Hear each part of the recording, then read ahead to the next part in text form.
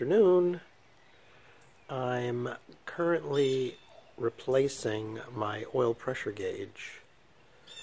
Um, it's the old Smith's gauge and um, I got a brand new Land Rover style gauge which has the oil pressure and then the temperature in centigrade so I'm going to get a little bit more accurate reading um, on those two and I'll show you the gauge right now what it looks like. Here's the new gauge and it comes with you know all the washers and this is the sensor for the water temperature. And then I've got this uh, coiled hose which goes to the oil pressure outlet. And I've got a banjo adapter here. And basically that goes on the old um, the oil filter at the top of the canister. So I'm getting ready to install that. I, I've removed the old oil pressure gauge, which was electrical, so it depended on an electrical sen sender, and it really never went above 25 pounds pressure. So, so the old oil pressure gauge is removed. Now, what I did here was I just sealed off the end of the green wire, which is hot, basically. That's the positive. This is the old oil sender, which was attached via a banjo bolt, they call it. This banjo bolt was atop, attached to the top of the oil filter canister. And um, basically it's electrical, and that's probably why I never got a reading above 25 psi this little red washer goes right on the tip there of the outlet and that fits into the end of the hose like that. There is not a hole big enough to allow the capillary tube uh, with the big nut attached to the end of it to fit through the firewall so I just basically I'm going to use a Dremel tool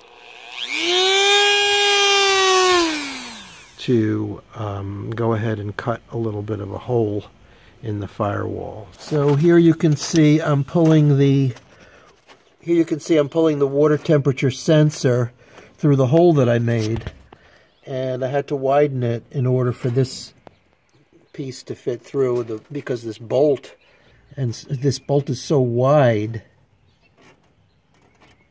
so I had to widen that hole for it to fit through and I'll use this grommet to seal up the hole a little bit better when I pull the water temperature sensor through it.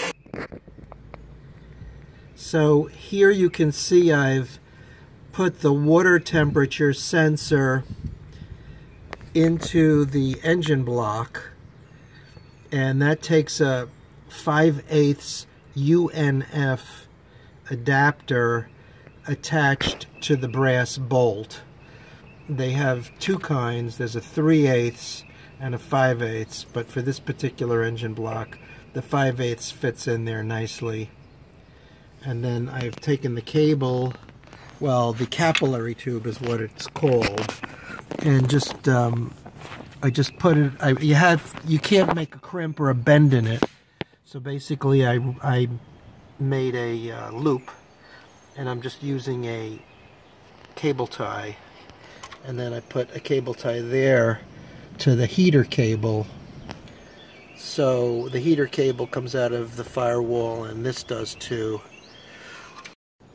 The next step is for me to attach the oil pressure cable to the oil filter canister top. So I've got a banjo connector attached to the uh, tube. So here it is. Here's what it looks like.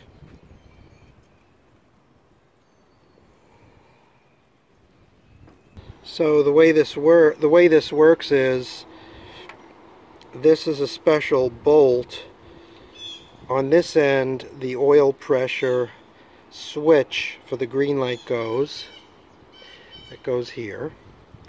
And then over here I'm going to put two washers. It's going to go up through the banjo bolt up through the banjo bolt like that.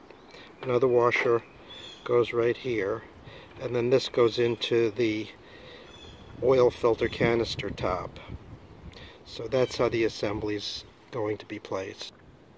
I'm trying a special washer on the switch, on the oil pressure switch, with a rubber, looks like it has a rubber washer on the inside and it's um, steel on the outside. That's what I'm going to use and then that goes into here and I think the seal will be better so I'm just going to try that and see how it works. Here you can see I've hooked up the banjo bolt and the through bolt and on the end is the oil, pres oil pressure switch. That's what's right there on the end. And that should all work fine. I'm going to give it a test now and see how it works. So the engine's running. I just started it up. You can see I've got about 50 psi on the oil pressure and it's running at about looks like 50 here it looks like 50 centigrade temperature. So this, this um, oil pressure and water temperature gauge is working perfectly and everything's hooked up great